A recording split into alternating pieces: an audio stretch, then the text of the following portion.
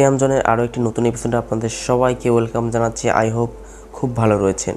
তো বেসিক্যালি আজকের এই ভিডিওতে খুবই হেল্পফুল কিছু ইনফরমেশন আপনাদের মাঝে আমি শেয়ার করতে যাচ্ছি। যারা কিনা Walton Primo R X eight ফোনটি কিনবেন এবং কিনবেন বলে ভাবছেন এবং অলরেডি কিনে ফেলেছেন, সবাই আজকের ভিডিওটি সম্পূর্ণ দেখবেন। কারণ এই ভিডিওটি সম্পূর্ণ দেখলে হয়তো আপনি Walton Primo R X eight ফোনটি নাও কিনতে পারেন এবং কেনার সিদ্ধান্ত সম্পূর্ণ বাদ দিয়ে অন্য কোনো ফোন কিনতে পারেন। সো অবশ্যই ভিডিওটি সম্পূর্ণ দেখবেন, কারণ এই ফোনটিতে Walton Primo R X eight ফোনটির কিছু ব্যাড সাইট আপনাদের শেয়ার করব। এর প্রাইস অনুযায়ী এর কনফিগারেশন ঠিকঠাক আছে কি না অ্যান্ড ফোনটি আপনাদের নেওয়া উচিত হবে কি না অ্যান্ড পনেরো হাজার টাকা কিন্তু খুবই কষ্টের একটা টাকা। তো এই টাকাটা যেন নষ্ট না হয়, তো সেক্ষেত্রে ভালো একটি ফোন আপনাদের সাজেস্ট করব এই প্রাইস অনুযায়ী। সো অবশ্যই আপনি এই ভিডিওটি সম্পূর্ণ দেখবেন and Walton Primo R X eight ফোনটি কিনবেন কিনা সেটিও জানাব আজকের ভিডিওতে। সো ভিডিওটি শুরু করার আগে আপনি যদি এই চ্যানেলে এখনও পর্যন্ত সদস্য না হয়ে থাকেন, তাহলে অবশ্যই নিচে লাল কালারের সাবস্ক্রাইব লেখা বাটনটিতে ক্লিক করে চ্যানেলটি সাবস্ক্রাইব করবেন অ্যান্ড পাশের ঘন্টাটি অল সিলেক্ট করবেন। এতে করে ভবিষ্যতে আমি যত ভিডিও পাবলিশ করব, তার সমস্ত ভিডিও সবার আগে আপনি পেয়ে যাবেন।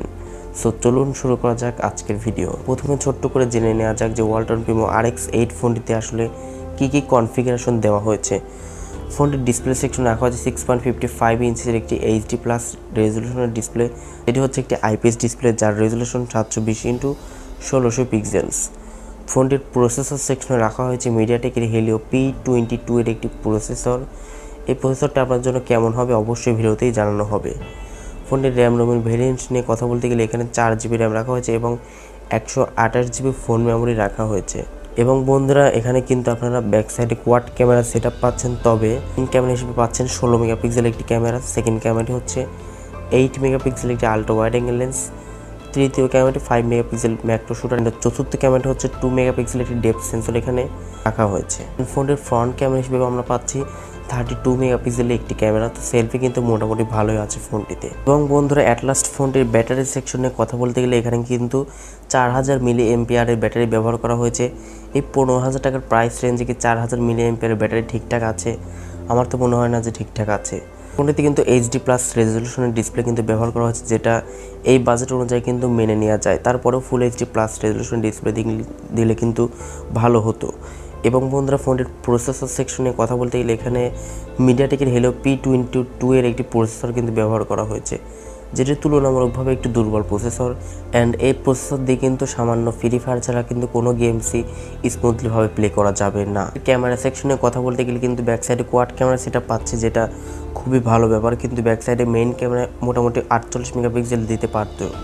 কিন্তু ওয়ালটন কিন্তু এখানে মাত্র ষোলো মেগাপিক্সেল মেইন ক্যামেরা দিয়েছে।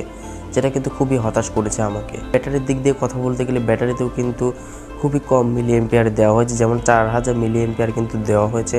অ্যাটলিস্ট পাঁচ হাজার মিলি এম্পিয়ার ব্যাটারি ওয়ালটন এখানে দিতে পারতো। এমন আহামরি কোনো খরচ কিন্তু হতো না। পাঁচ হাজার মিলি এম্পিয়ার ব্যাটারি কিন্তু ওয়ালটন দিতে পারতো। সব মিলিয়ে আসলে আমি বলব যে এই পনেরো হাজার টাকা প্লাস প্রাইস রেঞ্জে কিন্তু এই ফোনটি আসলে নেওয়া আপনাদের উচিত হবে না। কারণ এর থেকে নিচে যে সকল স্মার্টফোনগুলো রয়েছে, এর থেকে নিচে প্রাইসে যে সকল স্মার্টফোনগুলো রয়েছে, এর থেকে কিন্তু ভালো কনফিগারেশন অফার করছে।